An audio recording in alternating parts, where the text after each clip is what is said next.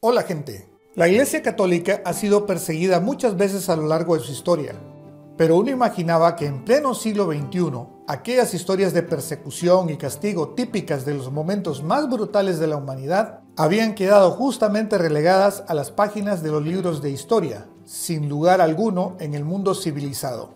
Y la verdad es que es así, porque aceptémoslo, hace años ya que Nicaragua, donde sí se sigue dando este tipo de persecuciones, ya no pertenece al mundo civilizado. Luego de arrasar con todo liderazgo político y social y de tratar, aunque sea infructuosamente, de borrar de la faz de la tierra todo vestigio de periodismo verdadero, ahora los traumados del Carmen han volcado todo su odio sobre la Iglesia Católica, a quienes consideran una amenaza, pues porque básicamente todo el Evangelio contradice su plan de conservación del poder.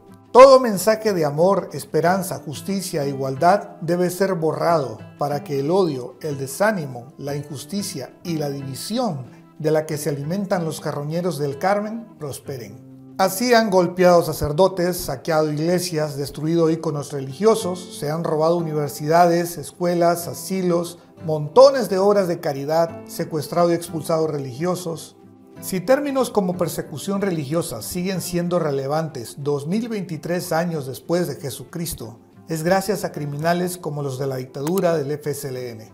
Desde 2018, Ortega, Murillo y sus secuaces han expulsado más de 70 religiosos de Nicaragua. El número es mayor y podríamos conocerlo en concreto si tuviéramos acceso a toda la información que muchas órdenes religiosas mantienen privadas por aquello de por aquello de quién sabe qué, porque la verdad a estas alturas es más fácil hacer pasar un camello por el ojo de una aguja que tratar de hacer razonar a esta dictadura. No es de extrañar que la idea de este demencial régimen sea crear su propia iglesia. Es más, son capaces, así como se robaron la cruz roja para convertirla ahora en cruz blanca, que ahora reemplacen la cruz cristiana por otra que les funcione. Quien diga que esto es una broma o una exageración no conoce cómo funciona la patética y envidiosa mente de Daniel y Rosario. Pero el pueblo no perderá la verdadera fe. Seguirá reconociendo y siguiendo a sus verdaderos pastores.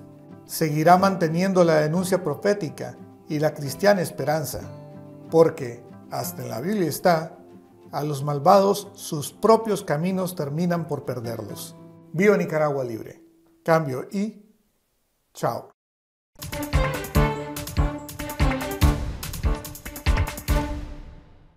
Gracias por ver este video. Con tu sintonía podemos vencer la censura televisiva en Nicaragua. Y si aún no lo has hecho, suscríbete a nuestro canal en YouTube. Necesitamos tu apoyo a Confidencial para seguir informando a nuestras audiencias y divulgando la verdad.